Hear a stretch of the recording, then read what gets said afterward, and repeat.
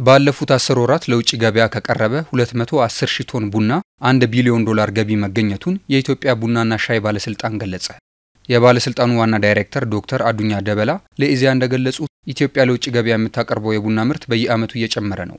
በተያዘው በጀት ዓመት 10 ወራትም 210 ሺህ ቶን ቡና ለውጭ ገበያ መቅረቡን ገልጸዋል። ይህም ካለፈው ዓመት ተመሳሳይ ወቅት ጋር ሲነጻጸር ከፍተኛ ብልጫ እንዳለው ጠቁመው በዚህም አንድ ቢሊዮን ዶላር ገቢ መገኘቱን የጠቆሙት።